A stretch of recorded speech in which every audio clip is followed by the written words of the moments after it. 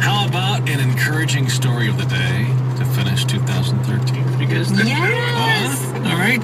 Hey, by the way, if you've got one of these, you can just call us. Oh, we'd love to hear your story. Just tickles our heart and it just encourages so many people all over the nation. Share your story 800 900 1300. And if this story, you think this will help somebody else, you want to hear it again, it'll happen in two hours from now. This is what happened with Brian, listen to it.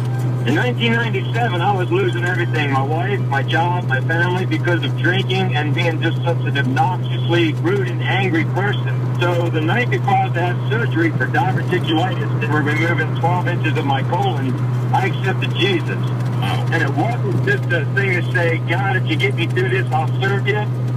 It was, God, I've got nothing left. If you're real, please save me and show me your love.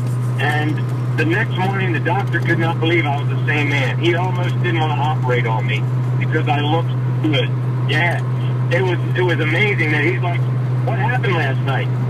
I said, "I accepted Jesus. I don't care if I live to die." You know. So could he tell that something physically changed, or was it your attitude?